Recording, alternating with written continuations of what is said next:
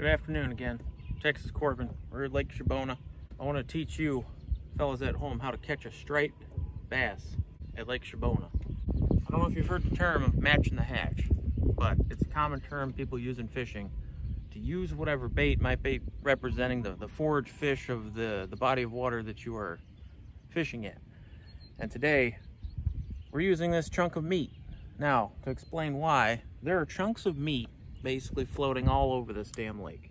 Uh, stripers just eat them up.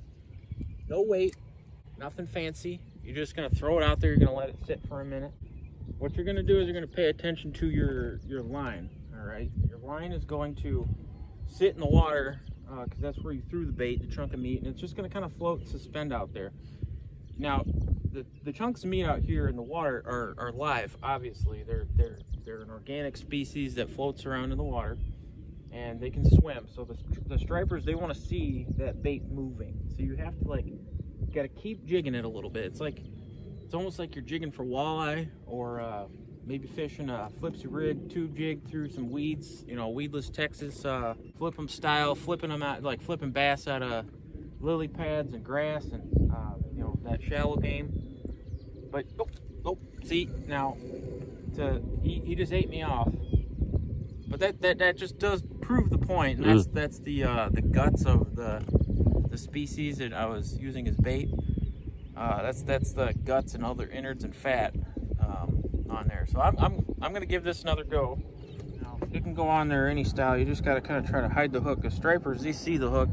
Uh, they they don't like it. The, the ones that are floating out there naturally in their habitat don't have hooks in them. So, so I'm not I'm not hooking it.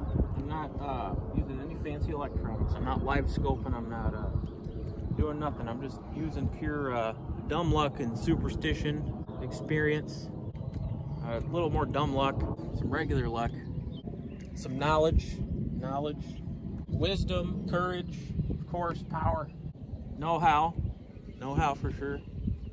Pappy, Pappy's old wisdom. He, he used to tell us all sorts of stuff. Tricks fishing out here. Nobody knows how to fish out here. Bunch of damn idiots, I swear to God. The chunks of meat, they, they kind of go like this. They, they go through the water like this. So you kind of have to like do that while you're, usually I'll just kind of sloppily like give her a reel like that, let it sit. Give her a reel, let it sit. I'm looking at the line. I'm not going off a feel, nothing like that. I'm looking at the line that's on my that's on my rod and my reel through the eyelets of the, the fishing rod. And just like that, eventually that line's gonna pick up and go straight. You gotta set the hook as quick as you can when that happens. This is not clean fishing as you can see our boat is just an absolute mess. Looks like I butchered a hog back here. You cast her out, and then I like to just do this here, just like that. Okay, let her sit, just like, oh, oh, there we go. Oh, oh, that feels like a chunker. Feels like a chunker on there. Easy as that, really, really is. Mm. Easy as that. They just see that meat mm. swimming through the water. Demonstrate that chunk of meat. They sit in the water like this, or like this sometimes. They'll face straight up. But like you're jiggling it like that, and, and he'll grab it, slams it. But they're finicky too. That guy did pretty good, but there he goes.